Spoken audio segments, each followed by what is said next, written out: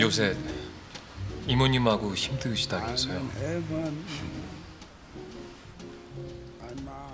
미라한테 들었어요. 강주 씨한테 딸이 있다고. 그래서 이모님하고 갈등이 심하시다고. 네. 저야 사랑하니까 받아들였지만 엄마랑 할머니 힘드시겠죠. 이해는 하지만 막상 엄마랑 부딪히면 화부터 나더라고요. 하, 아들이 하겠다는데 이게 응원 좀 해주지. 하는 그런 이기적인 생각이요. 그럼 별이 아빠는 전 아무것도 모릅니다. 궁금하지도 않고요. 아니, 안 궁금하면 그게 거짓말인데 그냥 접기로 했어요. 별이 아빠가 누구든 전 별이도 강주도 다 사랑하니까.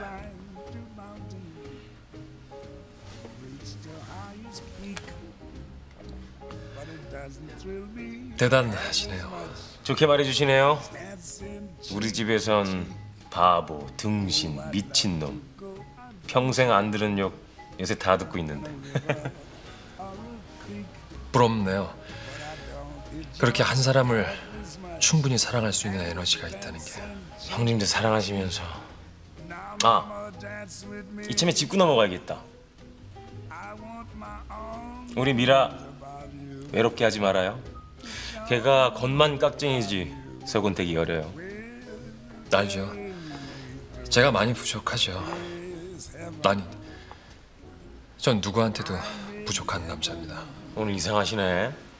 늘 여유 있고 따뜻하게 배려하시는 분. 근데 정신과는 본인이 선택한 건가요? 정말 너무 잘 어울린다고 생각했습니다. 의대 예과 다닐 때 어떤 여자가 권해줬어요. 나하고 얘기하고 있으면 마음이 편해진다고. 마음에 상처받은 사람들한테 잘해줄 것 같다고. 탁월한 안목이네요. 혹시 그분이 형님 첫사랑? 첫사랑도 좋지만 우리 미라 슬프게 하지 말아요. 부탁드립니다. 근데 저한테는 힘내라고 안 해줍니까? 가는 정이 있으면 오는 정이 있어야 되는 건데. 저도 우리 강주랑 잘 되라고 응원해 주셔야죠. 아 미라는 얍실하게 중립을 선언해 버렸거든요. 천천히 드세요.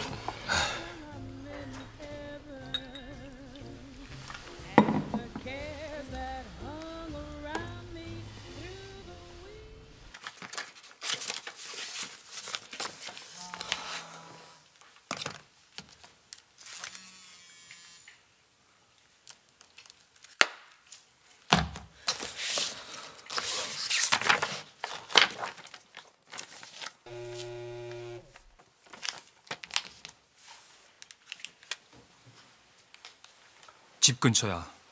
나와 만나자. 한 번만, 한 번만.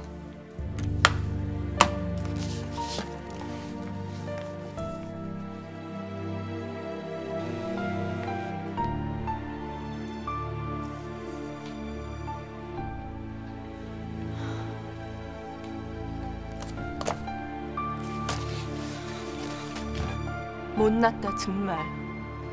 대체 지금 여기서 뭐 하는 거야? 내 말 못 알아들어? 이렇게 보는 거 싫다고.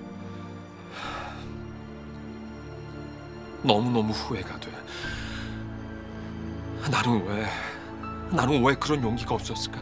왜 도망만 갔을까? 승현 씨 앞에 있는 내가 너무 초라했어. 사랑 앞에 당당한 모습이 정말 부러웠어. 그만하고 얼른 가. 나도 내가 한 사람 후회하지 않으려고 노력하고 있어. 그러니까 그만 가. 다음부턴 이렇게 찾아오지도 말고 문자도 보내지 마. 얘기하려고 나왔어. 잘 가. 강주야. 별이 정말 나하고는 별인 내 딸이야. 아무하고도 상관없는 내 딸이라고.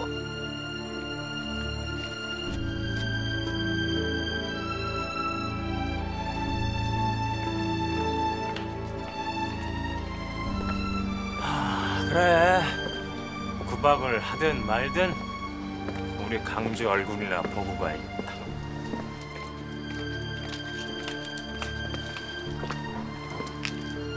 너